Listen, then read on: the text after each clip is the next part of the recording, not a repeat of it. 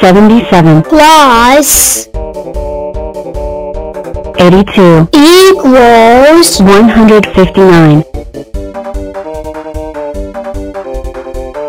55 plus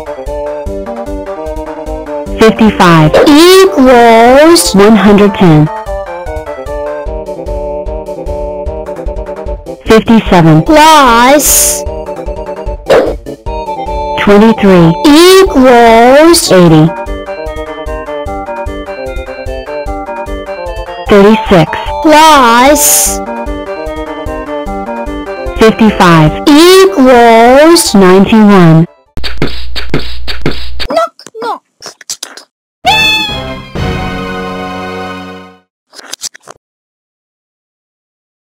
Hello, everyone. Let's see who is showing up today.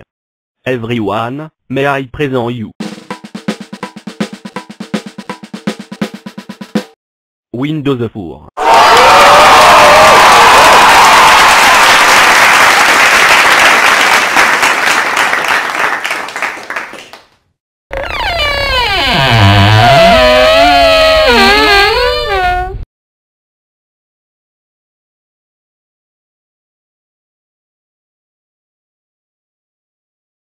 Hello, everyone.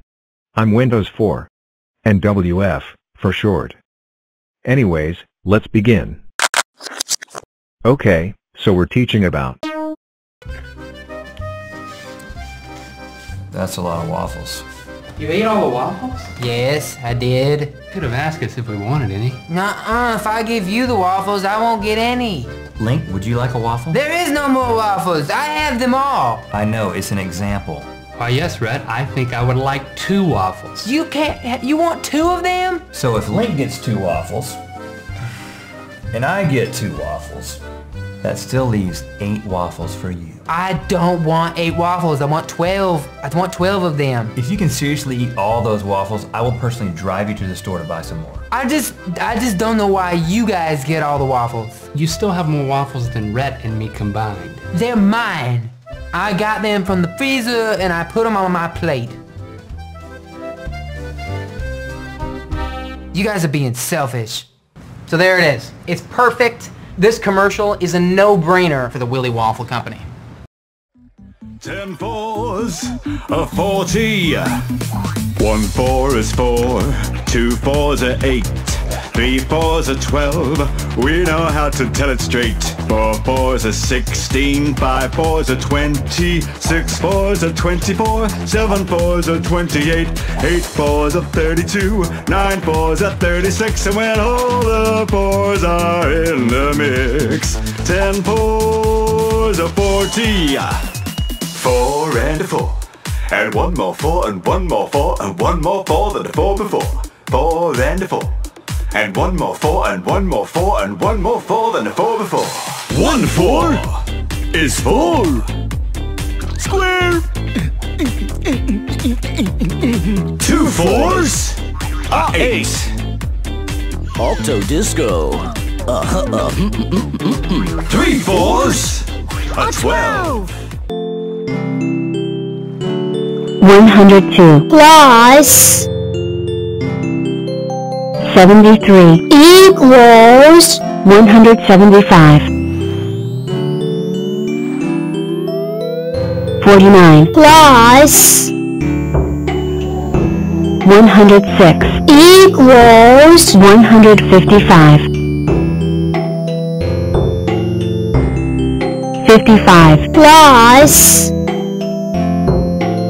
90 equals 145 21 plus 39 equals 60 93 plus 30 equals 123 86 plus 12 equals 98 0 plus 89 equals 89 85 plus 107 equals 192 8 plus 84 equals 92 2 plus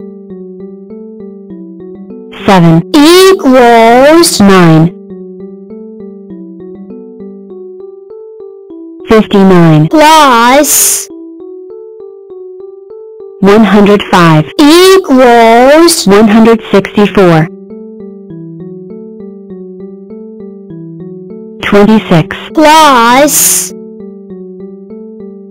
22 equals 48 85 plus 78 equals 163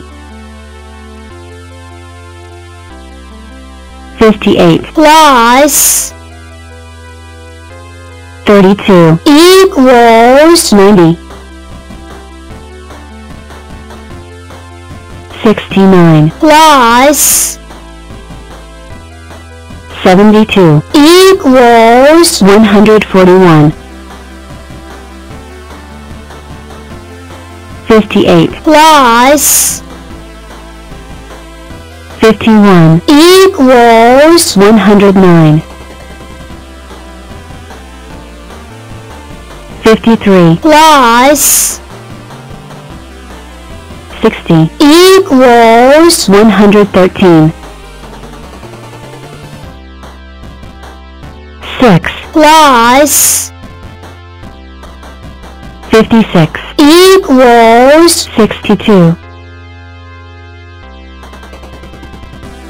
86 plus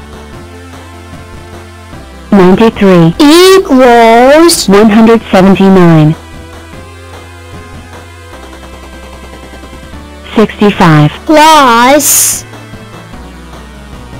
32 equals 97 85 plus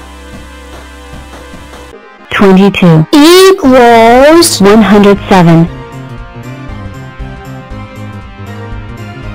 57 plus 10 equals 67 70 plus 24 equals 94 96 plus 46 equals 142 72 plus 50 equals 122 34 plus 71 equals 105 57 plus 85 equals 142